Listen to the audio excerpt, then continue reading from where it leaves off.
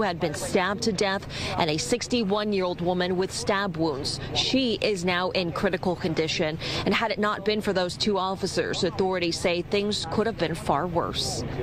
He probably would have did another homicide. He probably would have hurt somebody else. I mean, I don't know what was going on with him. I don't think we'll ever know. But our officers, due to their professionalism, their training, and their courage, they were able to stop that and save lives.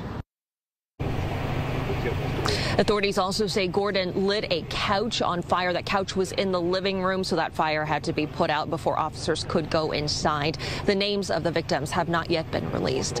Live in the Far Rockaways, GNSU Channel 7 Eyewitness News.